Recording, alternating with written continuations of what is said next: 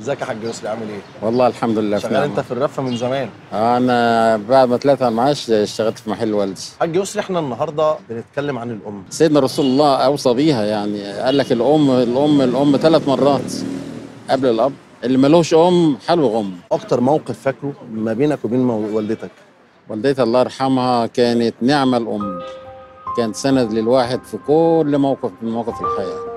كل خطوة كنت باخد رأيها وكانت دعوتها هي اللي بتسبقني. مفيش مشوار أروحه إلا ما تدعي لي وبأمرك يا ربي ألاقي المشوار يتقدش كانت دايما تدعي لي تقول لي ربنا يفتح عليك بالخير يا ابني ويبعد عنك ولاد الحرام.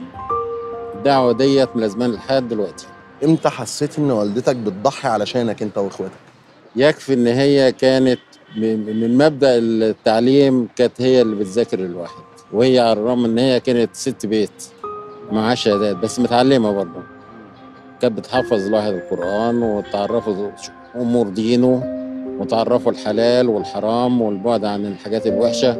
وكان الناس وقتها كانت بتحب بعضيها لله في الله بدون غرض وبدون أي مصلحة. وهي كان لسانها الله يرحمها كان يعني ما شاء الله محب فيها خلق الله كله. وحتى وقتنا هذا أنا عايش بدعوتها. على الرغم إن هي ماتت بقى لها أكتر من 15 سنة إنما الحمد لله حتى وقتنا هذا يعني مش بدعوتها